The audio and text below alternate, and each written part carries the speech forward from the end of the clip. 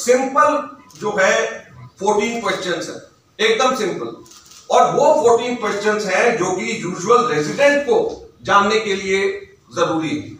और ये simple question के अंदर, जैसे name of person name name of person as should appear in the national population register relation to the relationship to the head of the family sex date of birth marital status education qualification occupation activity name of father mother and spouse and full तो simple चीज़ें जो आपको आ, किसी भी resident के लिए ज़रूरत है वो है इसके अंदर अब 2020 की बात पे आ जाते हैं आपको मैंने बताया कि एनपीआर का मकसद केवल और केवल सामान्य निवासी का डिटेल और लिस्ट बनाना है। 2020 का हमेशा सेंसस से पहले प्री टेस्ट होता है, जो कि फॉर्म दिया जाता है और वो फॉर्म लेकर के प्री टेस्ट होता है, जो कि जाकर के सर्वे किए जाते हैं।